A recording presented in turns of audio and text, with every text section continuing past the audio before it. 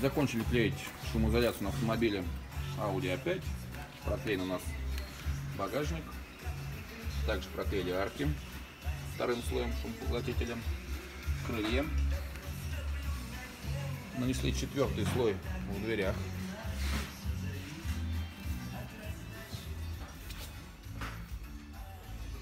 Ну и проклеили таким ковром пол в салоне.